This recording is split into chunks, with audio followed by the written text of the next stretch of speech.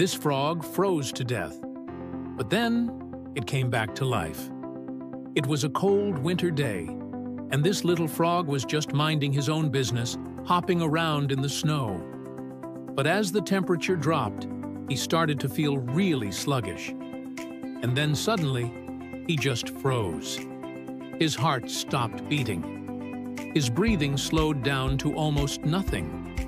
And after a few minutes, he was completely frozen solid.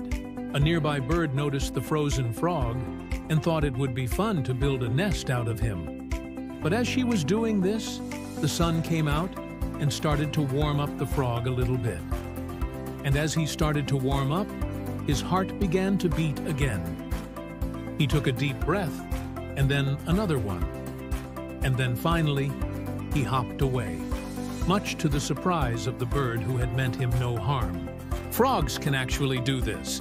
They can freeze themselves and then unfreeze themselves. It's called cryostasis. And it's amazing